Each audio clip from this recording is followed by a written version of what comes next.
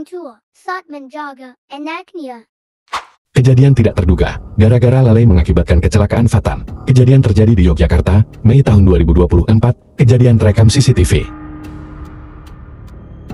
Kejadian ini bermula ketika sepasang suami istri bersama anak mereka yang berusia tiga tahun membeli makanan. Mereka tidak turun dari motor dan membiarkannya tetap menyala. Ketika sang ayah mengambil uang dari dompet, balita yang duduk di bagian depan motor menarik gas motor tersebut. Motor yang masih menyala itu menabrak kompor penggorengan, menyebabkan minyak panas dari penggorengan tersebut mengenai tubuh anak dan ayahnya.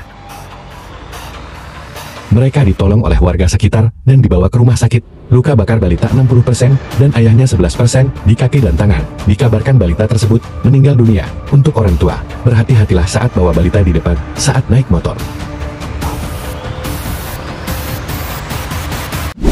Kelalaian orang tua lainnya yang terekam CCTV. Kejadian di Rusia, di pusat berbelanja. Saat ibu dan kedua anaknya turun dari eskalator, ibunya tidak memperhatikan balitanya yang kembali berjalan dan jatuh di eskalator, mengakibatkan tangannya terjepit. Balita tersebut terluka parah di jarinya. Para penyidik Komite Investigasi Rusia telah memulai penyelidikan investigasi untuk keputusan proses hukum untuk para orang tua. Berhati-hatilah saat membawa balita di mana pun, lengah dikit balita jadi korban kelalaian orang tua.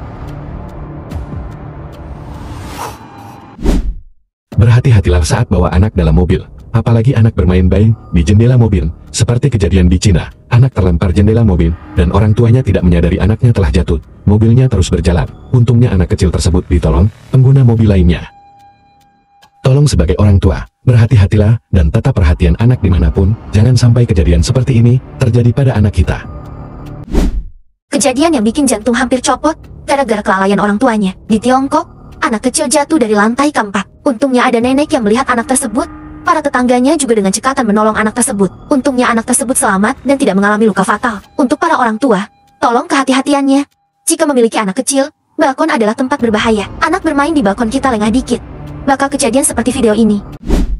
Kelalaian lainnya yang gak habis pikir dengan bapak ini, terekam kamera dashboard mobil.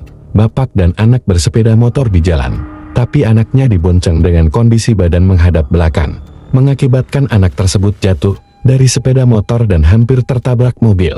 Tolong orang tua jangan izinkan anak Anda duduk dibonceng seperti itu. Sekian ditunggu video selanjutnya. Terima kasih telah menonton. Bang Yup. See you next video.